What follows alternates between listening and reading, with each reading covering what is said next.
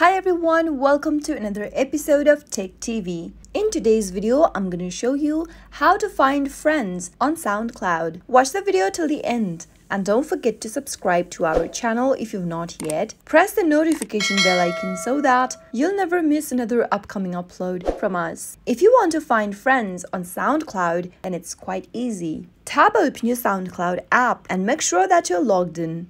From the main homepage of SoundCloud, tap on the search icon at the bottom of the screen. In the search box appearing, type in the name of your friend and once you type in the name, tap the search button. Now select people from the options. You'll be able to find all of the people that matches your search criteria on the next page. Go ahead and select the person you are trying to look for and tap on the follow button in order to follow them on SoundCloud. That is how you can easily find friends who you can follow on SoundCloud. I hope you found the video to be helpful.